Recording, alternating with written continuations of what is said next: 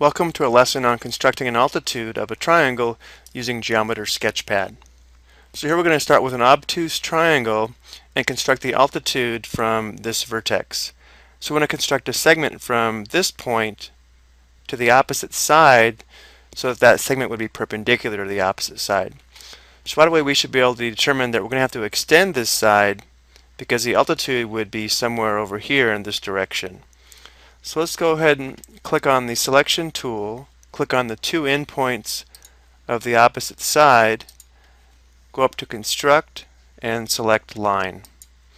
I'm going to go ahead and right click on this and change the color to green.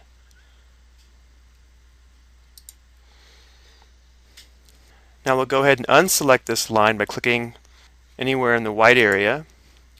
And now we want to construct a circle with the center at this vertex that intersects the opposite side in two points. So now we'll select the circle tool, click on this vertex, and construct a circle large enough so that it intersects the opposite side in two points. So maybe something like this. Now we want to determine the exact points of intersection of the opposite side and this circle. So we'll click on the selection tool and then the line that extends the side go up to construct and then select intersections. Now what we want to do is construct two congruent circles where one circle has a center at this point of intersection and the other congruent circle has a center at this point of intersection. Let's go ahead and unselect those two points by clicking in the white area.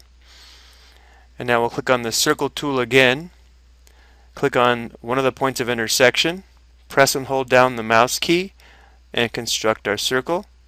We want to make sure that the circle extends past what we think would be the midpoint of the segment between these two points of intersection. Maybe somewhere in here. Now with the circle selected, we're going to go ahead and go up here and click on measure and and then radius. This will allow us to construct a congruent circle from the other point of intersection. So now we'll click on the selection tool and then we'll click on the other point of intersection here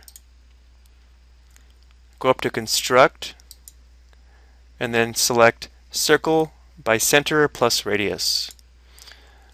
So now we have two congruent circles and the altitude will pass through the points of intersection of these two circles and the vertex of the triangle. Let's go ahead and select the other circle so that both circles are selected and then we'll construct the intersections of the two circles. So with these two points of intersection selected, let's go ahead and also select the vertex and we'll construct a line through these three points. So construct line. Let's go ahead and right click on this line and change the color to blue.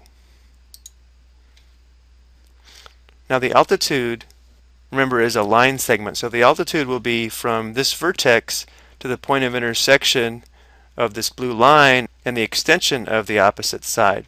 However, if you're trying to determine the intersection of the three altitudes, you do want to make this a line because remember, based upon the type of triangle, the intersection of the three altitudes may be inside, on, or outside the triangle.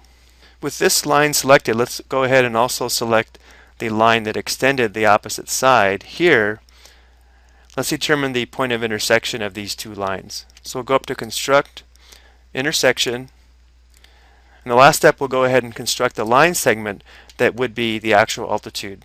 So we'll select this point here and this vertex, go up to construct, and then select segment. Let's go ahead and make this thick by right clicking and then select thick. So this would be the altitude of the line segment from this vertex to the opposite side that's perpendicular to the opposite side. I hope you found this video helpful.